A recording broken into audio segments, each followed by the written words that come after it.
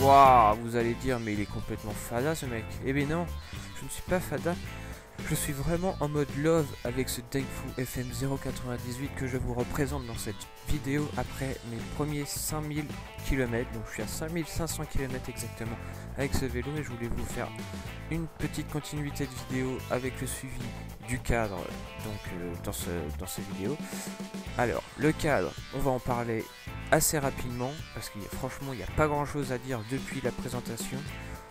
Au niveau des composants, rien n'a changé et au niveau du comportement, il est toujours aussi excellent. Je n'ai aucun problème à détecter, mais quand je dis aucun, je vous mens pas, hein, je dis pas ça pour vous faire plaisir, mais ce, Dengfu ne me déçoit vraiment pas. Ok, c'est pas très sexy de dire euh, je roule en Dengfu, mais il suffit de pas le dire. Hein, c'est sûr que de dire euh, je roule sur un Colnago, c'est beaucoup plus classe. Enfin bref.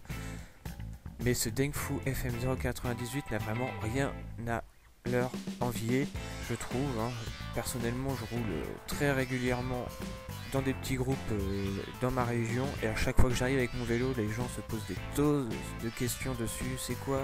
Tu l'as eu etc. il est vraiment beau, machin. Donc il fait toujours son petit effet dans cette livrée noire mat euh, sans sticker, ça, fait toujours interroger les gens. Les seuls petits points négatifs, ce sont les trois vis, comme vous pouvez voir ici, les deux de sel et celui au-dessus, qui ont tendance à rouiller. Mais c'est vraiment un détail, c'est pas un défaut, c'est juste euh, une usure courante, quoi. Avec la flotte, ça, a tendance à, rouiller, c'est presque logique. À savoir que les autres vis euh, qu'on trouve sur le vélo, eux, n'ont pas tendance à rouiller, c'est vraiment ces trois là particulièrement. Au niveau du boîtier de pédalier, c'est toujours aussi rigide, hein, il n'y a pas de souci, c'est pas du tout effet chewing-gum euh, comme on peut avoir peur sur ce genre de vélo. Et même après 5500 km, il n'y a vraiment aucun souci à détecter. On a revêtu les roues Racing Quattro de chez Fullchrome pour l'hiver, hein, donc euh, au changement de roue, franchement, euh, rien aussi à détecter. On change la roue, on règle un peu le dérailleur arrière et c'est reparti. Donc le cadre est vraiment excellent. La selle a été polie un peu par mon derrière. Les dérailleurs sont toujours autant alignés et précis, même si c'est du Shimano 105. Franchement, pareil, ça je vous conseille. Un hein. Shimano 105 il est un peu lourd, mais il fonctionne parfaitement.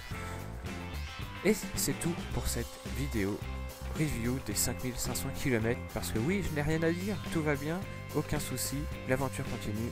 On se retrouve très vite pour une prochaine vidéo. Top, top, top, attendez les gars. J'ai pas fini. Et oui, Normandie Cycling, ça bouge un peu plus encore. Et aujourd'hui, nous avons ouvert, enfin aujourd'hui, cette semaine, nous avons ouvert la page Normandie Cycling Facebook. Pourquoi ouvrir une page Facebook? Tout simplement pour être encore plus près de vous, répondre plus facilement à vos questions. N'hésitez pas à venir rejoindre la communauté Normandie Cycling sur Facebook. Le lien se trouve dans la description. Un tout petit clic sur j'aime suffit à vous abonner à cette page et vous recevrez sur votre mur d'actualité toutes les nouveautés Normandie Cycling, les événements qu'ils vont organiser, que nous allons organiser ensemble, et les prochains concours que nous allons mettre en place. Alors n'hésitez plus, rejoignez la communauté Normandie Cycling sur YouTube et sur Facebook. A très vite pour une prochaine news.